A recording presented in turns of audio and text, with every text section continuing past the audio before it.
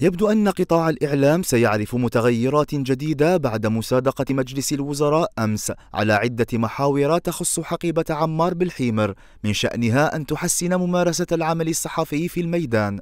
وزير الاتصال الناطق الرسمي للحكومة أكد على ضرورة تطهير قطاع الإعلام وتفعيل القوانين الملزمة بتسهيل وصول الصحفيين إلى مصادر المعلومة. أه، الوصول الخبر هناك نصوص تتعلق بالوصول للخبر آه، الرسمي من وقت الشاذلي الله يرحمه عندنا نص يفرض على الإدارة فتح مصادر الخبر الصحفيين تاع 86 إذا ساعات ما يبقى لك إلا تفعيل قوانين موجودة.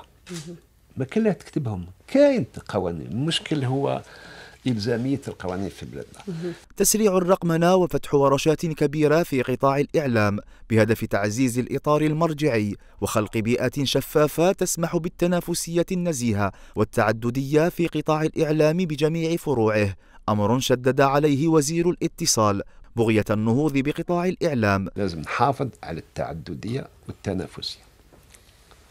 بمحاربة الاحتكارات الأسماء المستعارة وبحرفية الأداء هذا تعزيز إطار المرجعي الورشة الثانية هي مراجعة الإطار التشريعي والتنظيمي لقطاع الاتصال وملء الفراغ القانوني الذي يعاني من تعاني منه الصحافة الإلكترونية الإشهار القنوات الخاصة تنرح التشريعات الجديدة ضبط الصحافة المكتوبة الوكالات الاستشارية.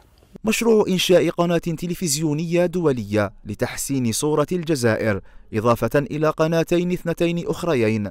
إحداهما للشباب والثانية قناة برلمانية وإنشاء معهد لسبر الآراء من ضمن المشاريع المستقبلية التي تبنتها وزارة الاتصال من شأنها أن تعطي الإضافة لتحسين صورة القطاع.